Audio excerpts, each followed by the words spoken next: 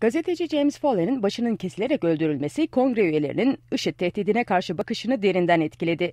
ABC televizyonuna konuşan Temsilciler Meclisi İç Güvenlik Komisyonu Başkanı Michael McCall, IŞİD'in 11 Eylül saldırılarından bu yana dünyanın karşı karşıya kaldığı en büyük tehlike olduğunu söyledi.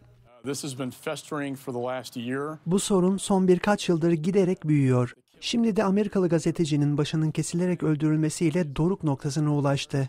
Amerika'dan ve Avrupa ülkelerinden IŞİD militanlarına katılmak üzere Orta Doğu'ya gidenlerin geri dönebileceklerini hatırlatan Temsilciler Meclisi İstihbarat Komisyonu Başkanı Cumhuriyetçi Mike Rogers, NBC televizyonuna şöyle konuştu. Bu militanlar Amerika'ya sadece bir uçak yolculuğu kadar uzaklar. Bu yüzden çok kaygılıyız.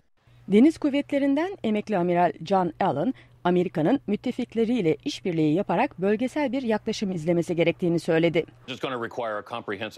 Kapsamlı bir strateji gerekiyor. Sadece barajlara yakın noktalarda IŞİD militanlarını hedef almak yetmez.